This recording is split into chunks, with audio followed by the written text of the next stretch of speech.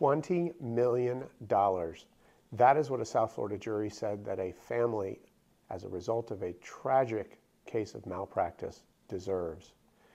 A hospital here in South Florida unfortunately killed a man who went in with pancreatitis by overprescribing him a heavy narcotic medication called Dilaudid, leaving behind his wife and seven year old son.